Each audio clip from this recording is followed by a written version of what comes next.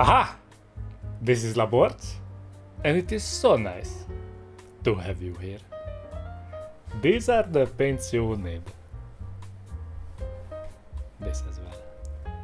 The big old Mikey boy was the latest winner on the Patreon poll. This mini is a bit too biblical for Papa Laborc's taste. You know, it's got that Ameno vibe all over it because the goose is a Christ symbol and the Roman Centurion armor is not as high fantasy as the rest of the game. It just feels strange in a high fantasy universe that has some similarities religion wise. But that's just old Papa Laborc's mumbling. Anyway, Papa Laborc's approach this time was a pure heavenly look. I know in the game these angels got corrupted and evil, but I wanted to have this boss in a pre-corrupted form. Don't worry, I have some pretty good ideas for the corrupted angel look for Archangel Raphael, and if you want to see that, just vote on it on Patreon next time. Alrighty, this time we use the airbrush. Oh my god, am I watching Angel Giraldez? No, it's still good old Papa Laborc. But I want to implement the airbrush into future videos as well. We start with the airbrush to apply Tallarn sand to the wings and halos. If you don't have an airbrush, you can do this with a brush too. Obviously, it's gonna take a lot more time, so please do get an airbrush. I'm an airbrush novice myself, but if you have a basic understanding of paint dilutions and how colors blend, then it will be easy street for you.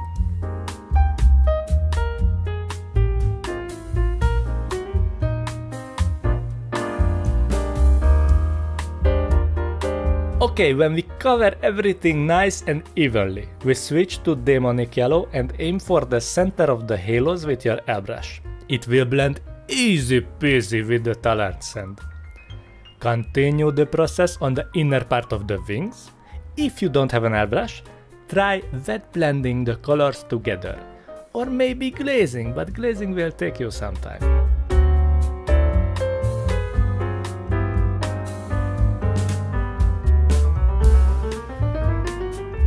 Gradually decrease the highlight areas on the halos with ice yellow to focus the airbrush sway more.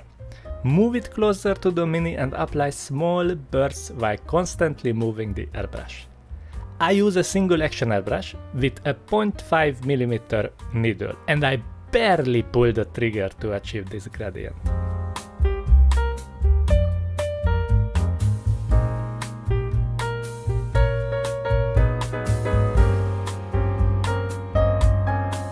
With pure white, we add the brightest highlight to the halo. Look how closely I apply the paint to the mini. This way I can create a small area on the halo. The beauty in the airbrushing is that if you make a mistake, you can fix these gradients very fast without glazing or wet blending. Not that I try to make a bad rap for uh, glazing, but this is entertainingly fast, okay? Okay.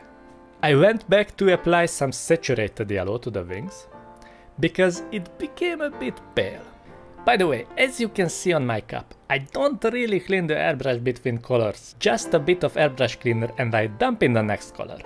When you work on the same section, you don't need to too early clean the airbrush because you blend the paints in the cup basically, and that's okay if you incrementally increase the color values if you want to paint a different section, that is dark green, for example, then you should give a profound cleaning, but we are using colors that are close to each other in value.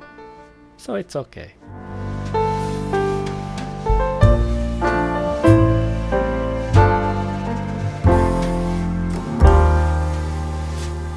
Lastly, I add some squig orange to the end of the wings. This will make it a bit warmer, like these wings are made of fire. I think it fits the pure angelic theme, but let me know in the comments if you have a different approach or ideas for the angels corrupted or pure form alike.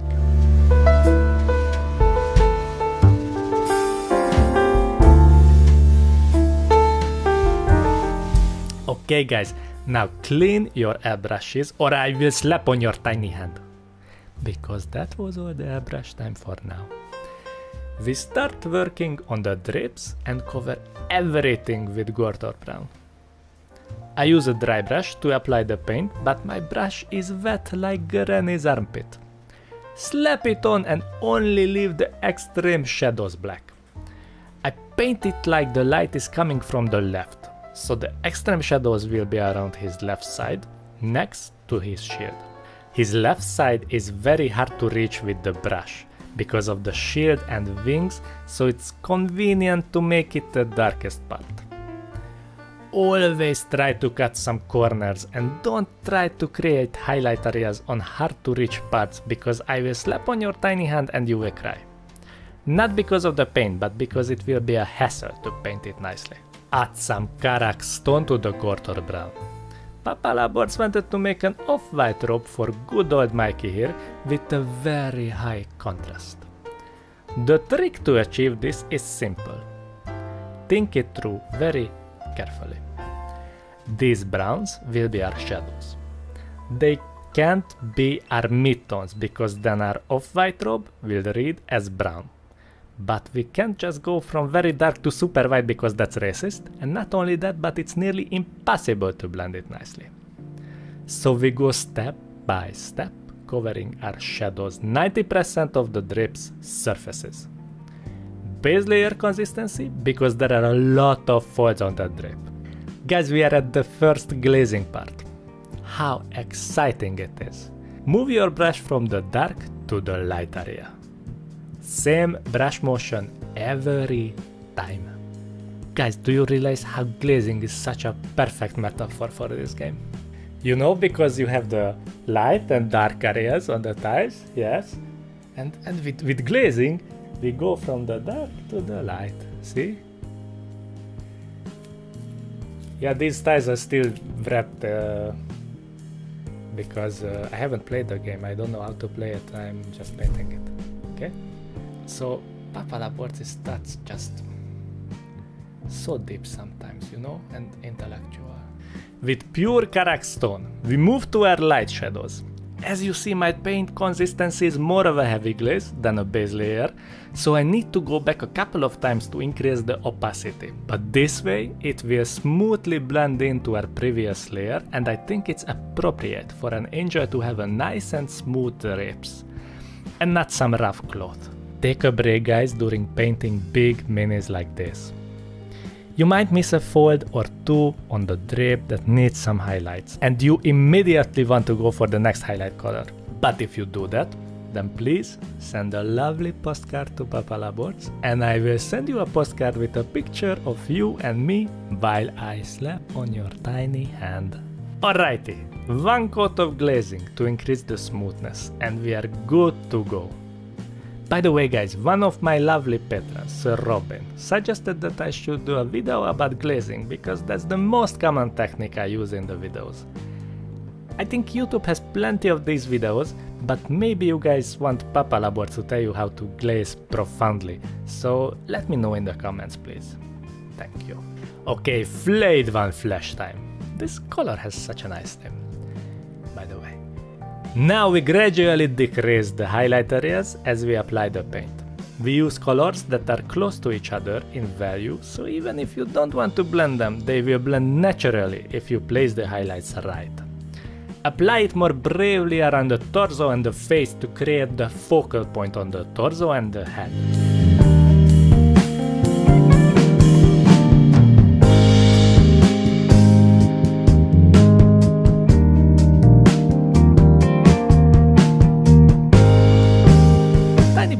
Glazing to make it smooth, like Granny's butt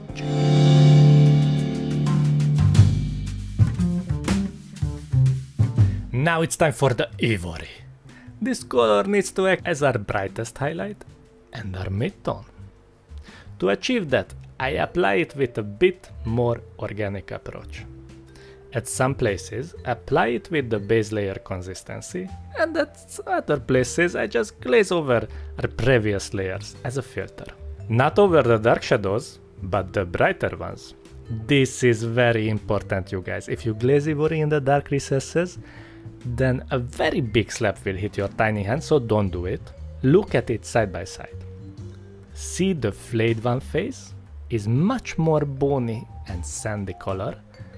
But then comes the ivory as an off-white and boom! Magic happened. Suddenly our shadows became darker and the drapes reads as off-white. I think this is very interesting and the result is super high contrast. Do you like it? Then please like the video and subscribe to the channel and leave a nice comment like Hey Papa Laborc, yeah that drape was quite okay. Moving on. Jesus!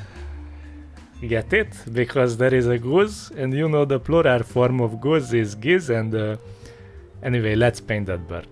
Same colors as for the drape, but I don't want it to be as high contrast as the drapes.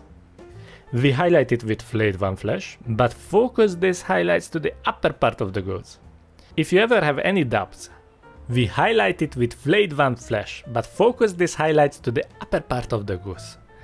If you ever have any doubts how to place highlights. Just think of it as a gradient. Do not stress yourself with secondary highlights or stuffs like that. Those things are for the light scientists. Choose a section that will be dark and choose one to be bright. Light is coming from above, so it makes sense to make the bright part toward the upper goose part. See? Easy peasy granny's butt cheeky. Same goes for Ivory, just in smaller areas. Remember in one of the previous videos, I talked about making gradients on small stuff. Check these tail feathers. Small? Sure, they are small, so I just make a gradient on them. That would make sense. Does it make sense? In an overall look? Yes, it does. Does light come like this with a bright halo behind it and a light source above it?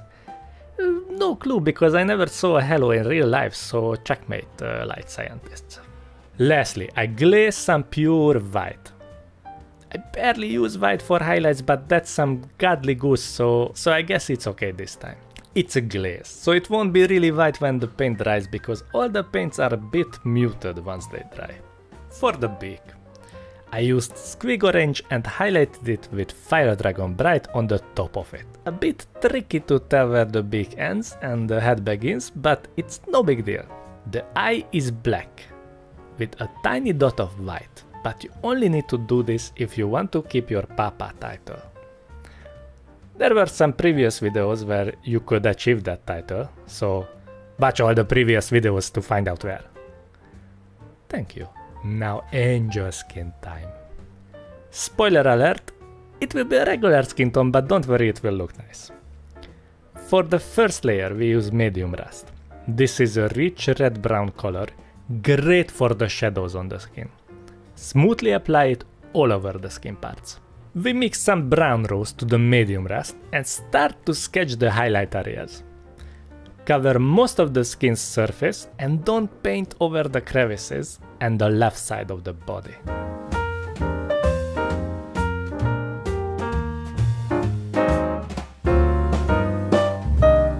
Then glaze over it with two coats, like we did in the previous steps. With pure brown rose, we start to introduce our midtone to the skin parts base layer consistency and use some stippling. Try not to cover all of our previous layers. If you paint over the shadows, we will lose contrast.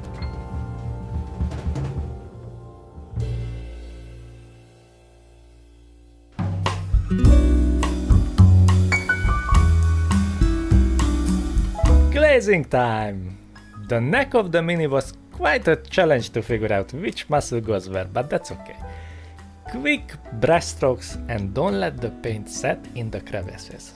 Add some Kislev flesh focusing on the muscles on his right side because light is coming from the left. I mean, obviously it would come from his halo and wings, but uh, we are not painting the mini like that.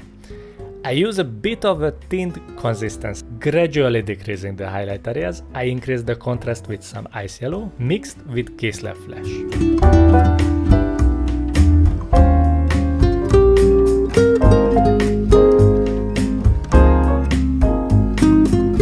Brightest parts of the skin, I add some ivory. This will give some shine to it and lighten up the skin a bit more so our angel has a light skin color, but not a pale one.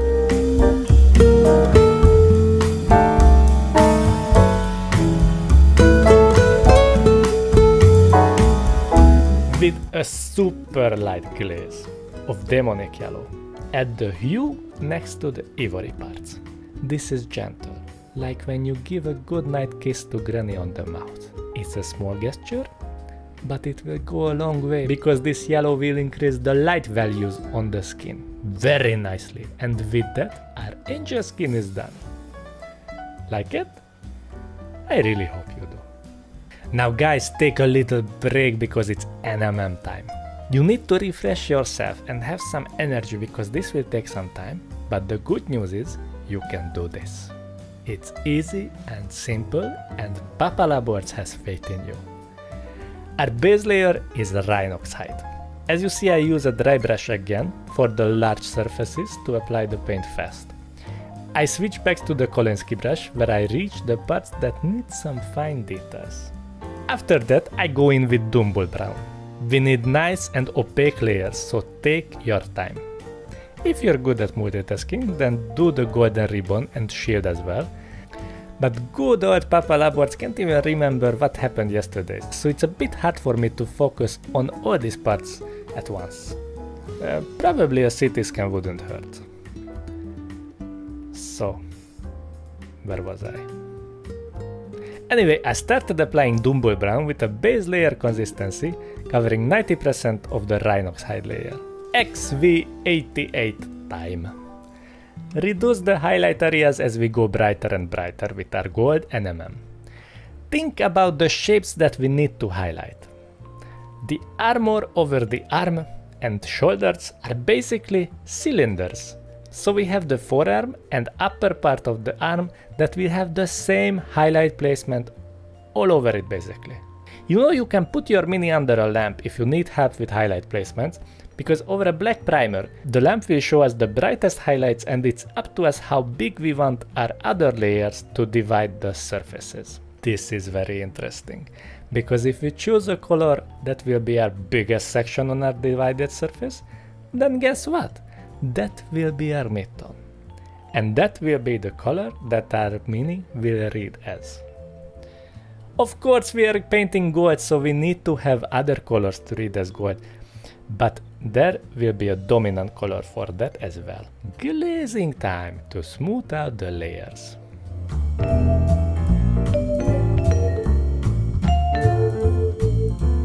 Continue the process with a mix of Zamesi Desert and XV88. Smaller and smaller areas inside our XV88 layer you can cover 95% of the XV88 layer, it will look nice, but leave a little bit of it so we can keep the incremental values of our highlight placement.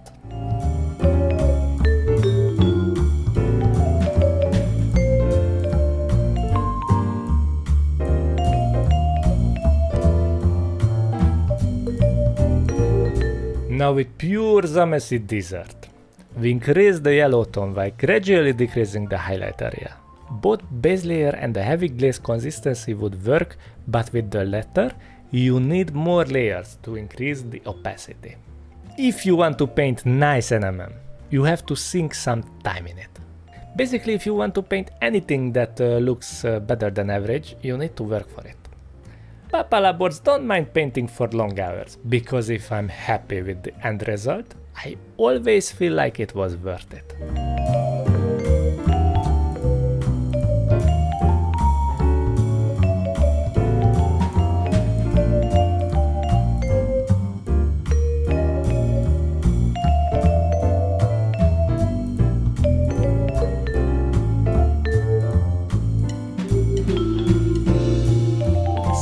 Smooth it out with some glazing. Because we are using colors that are close to each other in value, we can do this with one or two coats of glazing and the result will be smooth like Granny's butt cheek.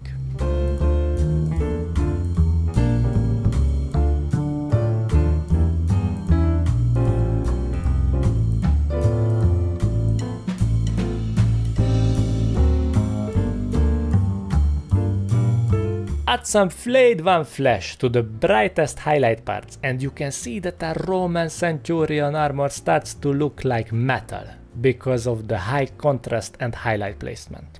It's a thin base layer consistency again. And I do some edge highlighting at this phase to see if it looks right. Spoiler alert, it will look very nice so just trust the process.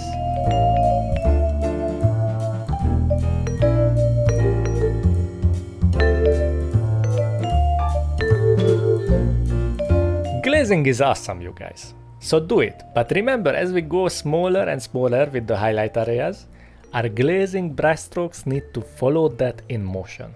Otherwise we will kinda desaturate the armor with Flayed One Flesh and we don't want to do that right now. Lastly, highlight the armor with Ivory. This will make it shiny and bright like it's a nice polished metal. Edge highlight as well with a base layer consistency and using the side of your brush tip. Gently move it alongside the edges. Do not apply pressure because then your lines will be thick and messy and you will get a slap on your tiny hand. Take your time and go back to the parts that you might have missed and check your layers. If they are not smooth enough, then blend it more with some glazing or any other technique of your choice. Apply a filter of demonic yellow next to the brightest highlights of the armor and the robes.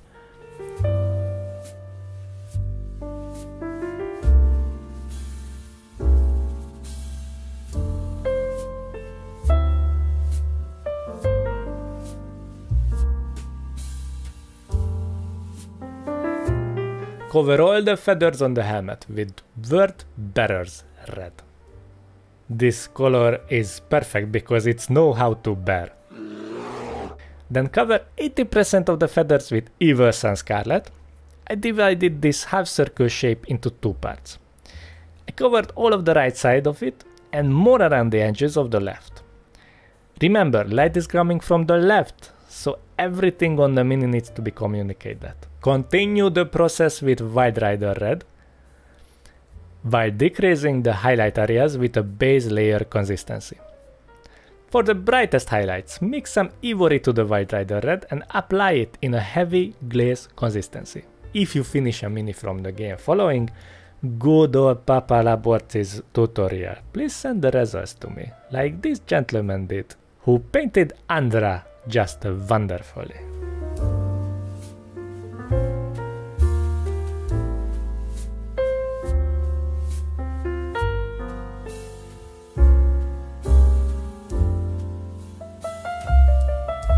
Now it's Sandal time, or it's probably Akalige that uh, soldiers wore in ancient Rome. See that? Papa Laborc is now history channel as well. I'm so smart. Cover the whole thing with Doombull Brown and all the red steps and his kilt, or uh, should I say, pteruges. Uh, no idea how to pronounce it, but it's the kilt that he is wearing. For the highlights, I use Karakstone in a heavy glaze consistency, slowly building up the volume of the brightness. The sandals are basically a cylinder shape, so the highlights are basically a connected line separated with the skin, if uh, that makes sense. For the last highlight, use flayed one flesh but just a tiny bit and the leather parts are done. Now it's NMM time again! Are you guys happy? Papa Laborc is happy because it will be so crispy like Granny's pig ear chips. Cover all the blades with Dark Reaper. Then we sketch out the highlights with Warpfiend Grey. I like these zigzag-like patterns, but you can change it up however you want, it will look fine. Or you can do just a simple gradient like we did in the Sir Ronan tutorial previously. By the way, you should check that one out guys, okay? After the video, not now. I use these cold bluish and purplish grays to harmonize with our yellow and orange wings. Use some stippling to blend the colors more easily. Now glaze over with Warpfiend Grey. This would take a couple of layers if you watched my previous videos and I think you know why. That's right, the sword blade is a flat surface and blending over flat surfaces is always more time consuming. This blade is very nicely made so take your time with it and make it smooth like granny's butt cheek. Let's increase the contrast with sky gray. Try to apply the paint like you want to do lines that are parallel with the sword. It doesn't have to look like lines, but the brush's motion will create more organic highlights. Use stippling here too, like we did in the previous step. Then glaze again to smooth out the transition. Remember guys, this is crucial. Same brush motion every time. You are a glazing machine sent from the future to glaze over everything and spread the word around about the awesomeness of the technique. To make things a little bit more interesting, we highlight the top part of the blade with warmer tones. Use Flayed One Flesh for that. If you use the same highlight colors all over the miniature, it will create a more harmonic look and create the effect that everything on that mini belongs in the same environment. For the bottom part, I use ivory mixed with sky gray, so that part of the blade will stay cold, but still shiny.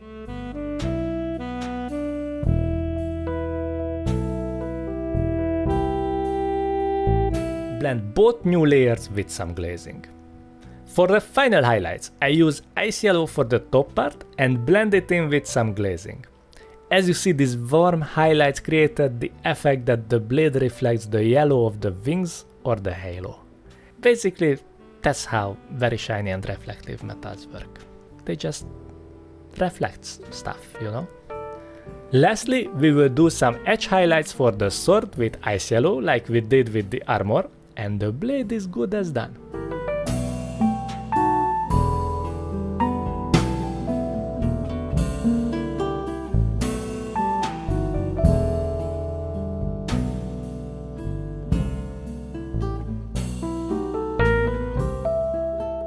The sword grip is pretty simple, I just use some heavy glaze of Flayed One Flesh over a layer of Gorthor Brown. This way it looks like some polished wood. Then I painted the rivets and buckles with some dark reaper and a dot of flayed one flesh to imitate a glint. This is really simple and I was pretty proud that I didn't forget about them, because uh, Papa Laborc usually does that. Okay guys, we are at the finish line with this mini, but we got a super nice part to do. The shield. The shield is so freaking awesome, you guys, with that huge grumpy face on it. We need to do NMM for that too. Paint the flat part of the shield with Flayed One Flesh. Not gonna lie you guys, this is gonna be a real test of your skills but more of a test of patience because we need to leave those stripes around the face crispy and dark. So it will be a back and forth process until you have a nice and opaque layer of Flayed One flesh. But Papa Laborc know that you will handle this perfectly. If you are done with that. We apply some ivory glaze to the top left part of the shield and to the bottom right, glaze some Karak stone so we will have a nice diagonal gradient over the flat part. Then let's make the bottom right part a bit more darker with a glaze of Gorthor Brown. Now we do the gold parts exactly the same way like we did with the armor, but the highlight placement is a bit trickier because this is a face, not a cylinder. So I do the same approach for the face as for the whole mini.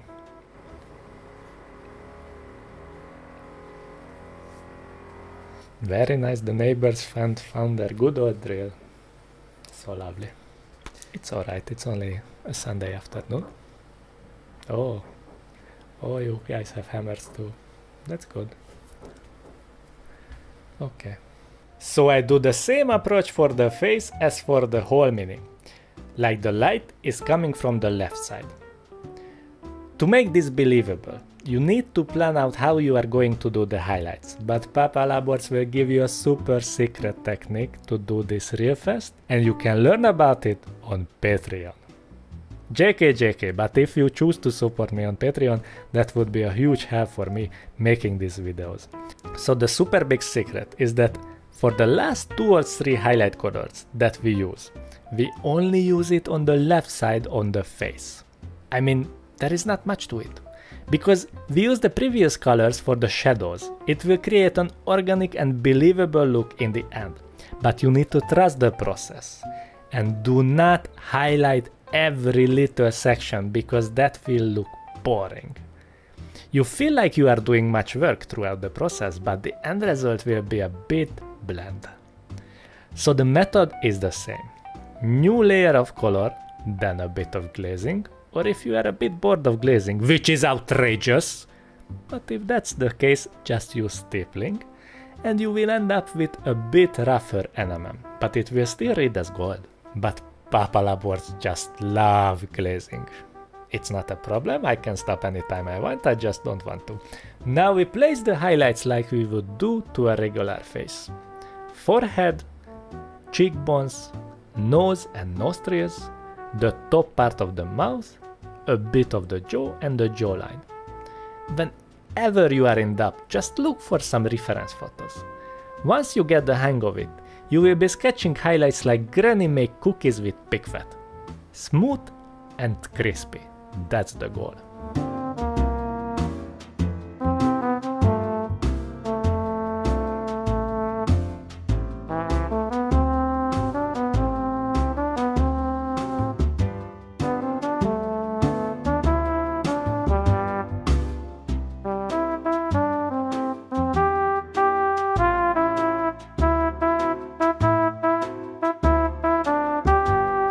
Guys, we are at the finish line. We use the same colors like we did for the wings to paint the tiny wings on his feet. Tallarn sand is our base layer. Then a bit of demonic yellow to the upper parts of those tiny wings and then a bit of ice yellow, but only a touch. This is the feet, you guys. You don't need to exaggerate the looks and details of it because our focal point is on the torso and not on the legs, okay? Okay. Now for the very last step. Edge highlight the feathers on the wing with white and ice yellow. We do this because we only use the airbrush for the wings and it feels a bit homogenic next to the angel torso texture wise. So it will make it a bit more interesting for our eyes. Some more drilling. Drill all the way. Okay. You done? No. Maybe now? Of course not. Nice and slowly.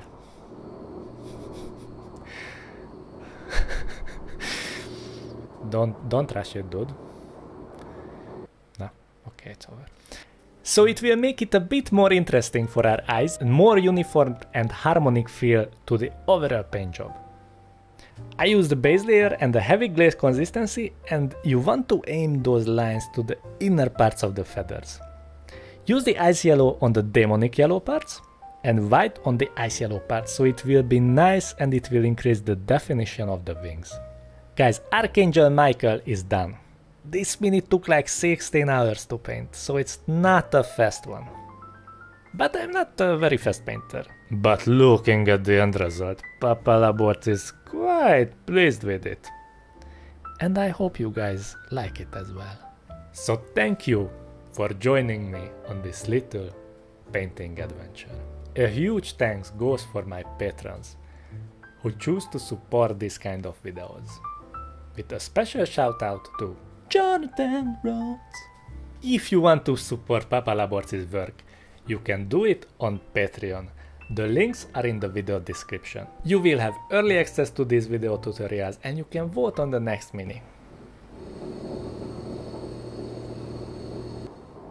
So if you support me on Patreon, I can steal my neighbor's drill and uh, then I go to jail, but I can ba bail myself out, so that works out well, I think. I hope the rest of your day will be as smooth as a granny's butt cheek. Please like the video and subscribe to the channel. Thank you.